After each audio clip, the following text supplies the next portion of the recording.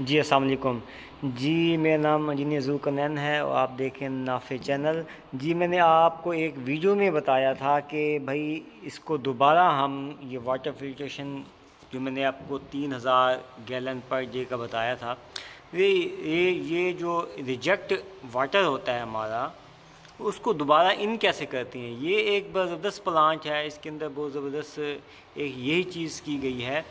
इसके अंदर पानी को रिसर्कुलर किया गया है।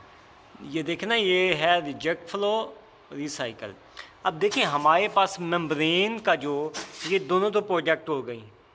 इस मेम्ब्रेन से आने वाली ये लाइन और वो लाइन ये प्रोजेक्ट हो गई, हमारी ये वाली। ये जा रही है हमारे प्रोजेक्ट फ्लो की से। और ये रिजेक्ट निकल रही है। अब इस रिजेक्ट के आगे ये टोटल रिजेक्ट है। ये यहाँ से लेके ये टोटल रिजेक्ट है।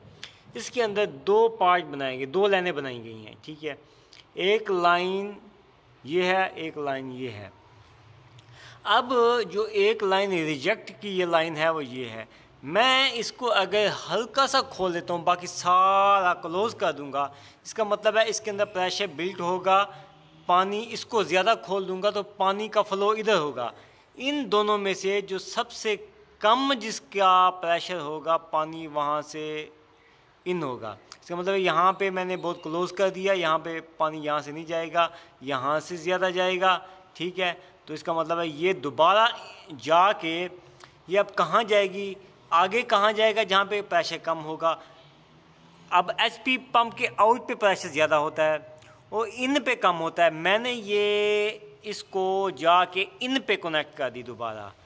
वहाँ से इसका मतलब है, इस लाइन के अंदर प्रेशर बहुत कम है, इस वाल से ऊपर ऊपर बहुत कम प्रेशर है और इस नीचे वाल से सबसे ज़्यादा इन दोनों में से इसका प्रेशर कम है, पानी इधर ज़्यादा फ्लो करेगा, इधर कम करेगा। तो यहाँ से आके सर्कुलेट होकर दोबारा हमारे पास इन हो जाएगी। ये है, ये एक भाई ने मुझे पूछा था कि, सर, इसके अंदर हम रिजेक्ट को रिसर्कुलर कैसे करते हैं, उसकी डिटेल में बताएँ? तो मैंने ये भी डिटेल में बताई।